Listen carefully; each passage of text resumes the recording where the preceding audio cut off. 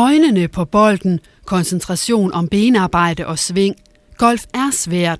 Alligevel har fem elever fra Mølholm skole prioriteret golf som valgfag. De træner én gang om ugen på Kellerspark Golfklub i Brejning, hvor tidligere landstræner Jan Frej Pedersen lærer tips og tricks fra sig. Eleverne har alle ADHD.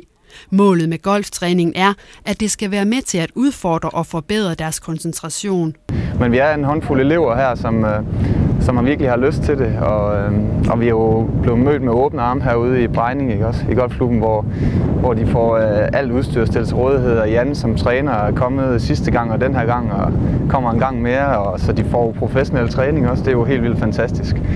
Som sagt, så er det jo de, med, med deres ro og deres øh, opmærksomhed, de bliver øh, udfordret på, og, og selvfølgelig skal man se det over længere tid, for at man måske kan få en øh, effekt af det.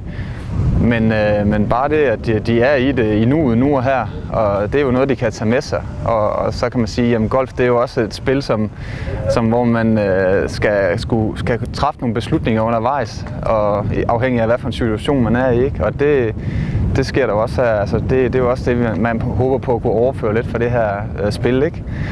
Lysten til at spille fejler ikke noget, og der bliver koncentreret slået løs med golfkøllerne.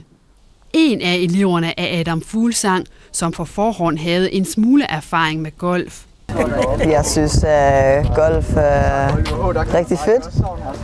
Og øh, jeg startede, fra da jeg var fem år, har jeg spillet det med min morfar, når jeg har besøgt ham.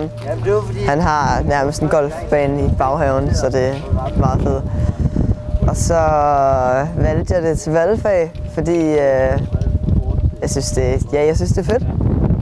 Og øh, det, øh, man skal koncentrere sig, og det har jeg lidt problemer med, så det, det kan man også lære samtidig. Det nytter ikke noget at bare gå hen og stille sig foran bolden og så bare skyde hver gang. Man skal ligesom koncentrere sig, inden man slår og tænke på de ting, man skal forbedre, mens man slår slaget. Det nytter ikke bare at gå op og så bare slå til den. Eleverne har golf som valgfag frem til efterårsferien.